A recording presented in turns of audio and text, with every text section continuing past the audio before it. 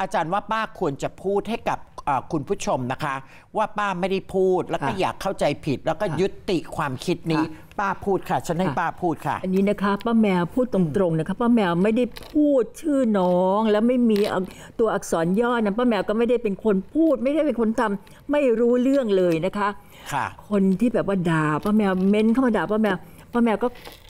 กราบขอเถอะนะคะ หยุดเลยค่ะนะคะการพิมพ์ของคุณน่ะนะคะ มือลงไปนิ้วไปสิบนิ้วเนี่ยมันทำลายจิตใจคนแก่ๆอย่างป้าแมว ซึ่งอายุ 81 แล้วนะคะ ยังไม่รู้เลยค่ะว่า วันนี้นั่งคุยกับอาจารย์แล้วพรุ่งนี้จะไปไหนจะอยู่ที่ไหน อาจจะไปอาจจะตายก็ได้ใช่อาจารย์ไม่เขาด่าด่าๆไปเถอะค่ะอ้าวเหรอคะถ้าเขาด่าแล้วเขาสบายใจป้าใช่ใช่ค่ะอ่าจริง ๆนะคะ ถ้าหากว่าด่าแล้วคุณสบายใจเอาเถอะค่ะ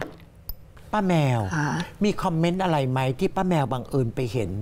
แล้วมันทำความรู้สึกสะเทือนใจให้กับป้าแมวอะ มีมีมากเลยค่ะอาจารย์ค่ะค่ะ มันมีคอมเมนต์ว่า เป็นหมาเลี้ยงของอ้ำพัชราภา แต่อ้ำพัชราภาเนี่ย เลี้ยงไม่อิ่ม ก็เลยวิ่งไปหายุ้ยจีรนันท์ตรงเนี้ย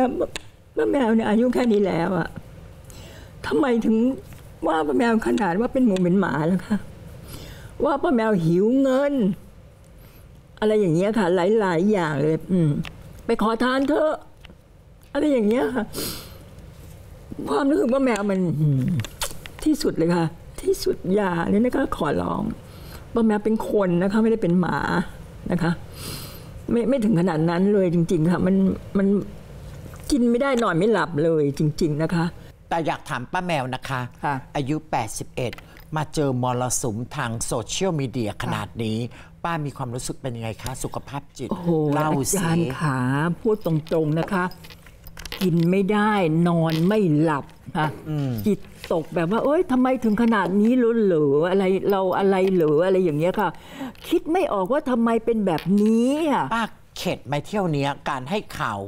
สัมภาษณ์โน่นสัมภาษณ์นี่ป้าเข็ดไหมเที่ยวเข็ดเนี้ยเลยค่ะ เพราะว่าบางครั้งเนี่ยค่ะเราไม่ได้พูดก็บอกว่าเราพูดอะไรอย่างเงี้ยค่ะอืมอืมพูดนิดนึงก็เอาไปเติมเออไม่ได้พูดก็บอกว่าพูดอะไรอย่างนี้นะคะ ก็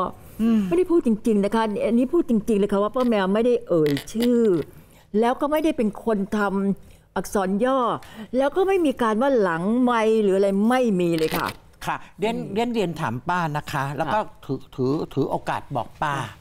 สังคมสมัยนี้อยู่ยากนะคะ แล้วโลกสมัยนี้มันวิ่งเร็วยิ่งกว่าจรวดใช่ค่ะแป๊บเดียวไปกันทั้งเมืองแล้วค่ะไม่ได้พูดก็กลายเป็นคนพูดค่ะเรียนอยากให้ป้าพูดนะคะ กับคนที่เอาป้าไปเขียนแล้วก็บวกโน่นบวกนี่จนกระทั่งกลายเป็นความหายนะของผู้อื่น แล้วก็มาโทษว่าป้าเป็นต้นเหตุ ป้าพูดค่ะไอ้คนที่เอาไปทำนะคะ ก็ป้าแมวก็ขอร้องนะคะว่าหยุดนะคะอย่าทำแบบนี้อีกเลยนะคะ อย่าไปทำกับคนอื่นอีกเลยทำกับป้าแมวคนเดียวพอแล้วนะคะ หยุดเลยค่ะ เพราะมันเป็น